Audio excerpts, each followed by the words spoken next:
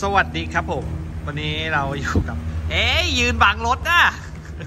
อ่าดูรถใส่อ่าอันนี้เป็น BMW 2002 ใช่ คันนี้มีความพิเศษไงบ้างครับ มีความพิเศษที่เรียบร้อยมันจะพิเศษยังไงวะ เรียบร้อย พิเศษยังไงอะมันเตี้ยไหมสองอะมันเตี้ยไหมเออ มันเตี้ย เออแนวสแตนอ๋อ แต่คันนี้ก็คือออกแนวแบบว่าได้อารมณ์ยุ่นยังไงมีโป่งมีลิ้น อ๋อไม่โป่งไม่ปกติ2002ไม่มี ไม่มีสิเดิมๆไม่มีอยู่แล้วเฮ้ยอันนี้โป่งกับลิ้นมาว่ะใช่ทำไมมันถึงเตี้ยได้ขนาดนี้อะพี่ถุงลมครับเฮ้ยทำโหสาธิตให้ดูหน่อยดิเวลาสูงเวลาวิ่งเป็นไงอะไรอันไงนี้เป็นถุงลม8วาล์วด้วย ไม่ใช่ไม่ใช่ถุงลม4วาล์วอ้าวแล้วสี่วาล์วกับแปดวาล์วมันต่างกันยังไงอ่าสี่วาล์วเนี่ย ถ้าพูดง่าย ๆ คือมันจะใช้ลมหน้า และหลังแยกกัน อ่า แต่8วาล์วเนี่ย แต่ละล้อเนี่ย อิสระเลย ลมล้อใครล้อมันแล้วก็จะมีความสมูทกว่า อ่าๆแบบเราจะปรับซ้ายสูงกว่าขวาได้ก็ได้ เวลาเจอหลุมเจออะไรอะไรอย่างงี้ใช่ไหมใช่ อ๋อ ใช่ ก็จะเป็นตัวราคาที่แพงกว่าแพงตักวว่าสี่อยู่วาล์วแน่นอน แต่ว่า8วาล์วเนี่ย ข้อดีของมันก็คืออ่ามันเขาเรียกว่าอะไรอะ พอมันอิสระ มันก็เหมือนเราใส่โค้กสี่ต้นอะ เอ้ย ใส่สปริงสี่อันอะ อ่า มันมันอิสระกันกว่ากันไงมันไม่มันไม่แบ่งลมกันซ้ายขวา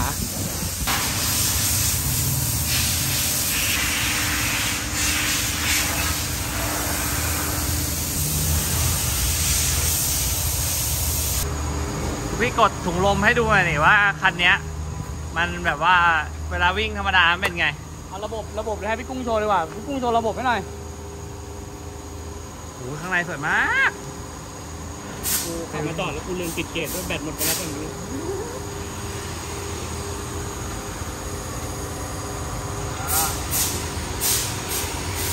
มีรีโมทครับตอนนี้หมดได้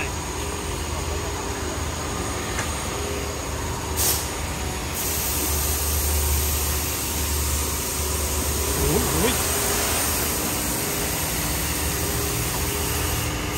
โห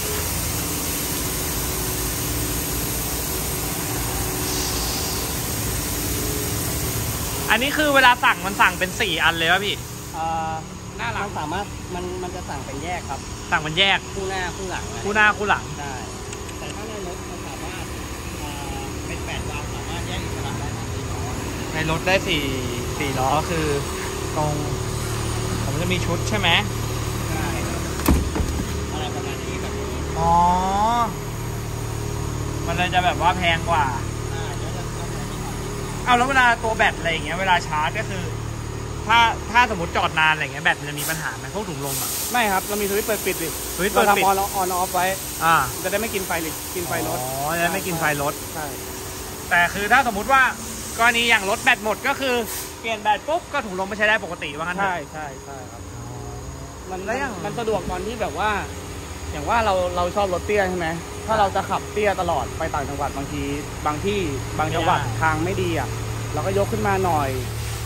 สเกิร์ตเราก็จะไม่แตก อืม ช่วงล่างเราก็จะไม่พังอืม ห่างก็จะไม่แตก มันก็มันก็เป็นอีกอีกอารมณ์หนึ่งแล้วมันนุ่มด้วยนะถุงลมเนี่ยโอ้โหขอจะดูข้างหลังนะนี่ยกขึ้นมาสูงกันนะครับเนี่ย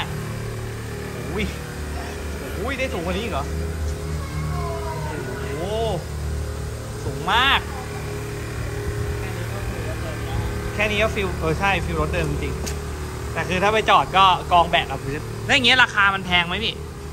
ถ้าอันนี้ 8 วาล์วเนาะ อ่า ถ้า 4 วาล์วอย่างเงี้ย ปกติ ถ้าเป็น Mania Garage นะครับ ก็จะทำอยู่ประมาณ 30,000 กว่ากว่าอ่าๆแล้วแต่รถ แล้วแต่รถ เพราะว่าอุปกรณ์รถแต่ละคันน่ะจะทำไม่เหมือนกัน อืม ถุงลมอาจจะต้องเปลี่ยนไซส์ หรือว่าถุงลมเปลี่ยนแบบจากตรงโดนัทที่เราดูเมื่อกี้ ดูไปยังวะ อ่าถ้าเป็นอย่างตรงโดนัทอย่างเงี้ยอาจจะเปลี่ยนเป็นถุงกระบอกอะไรอย่างเงี้ย แล้วแล้วอย่างเงี้ยน้ำหนักรถ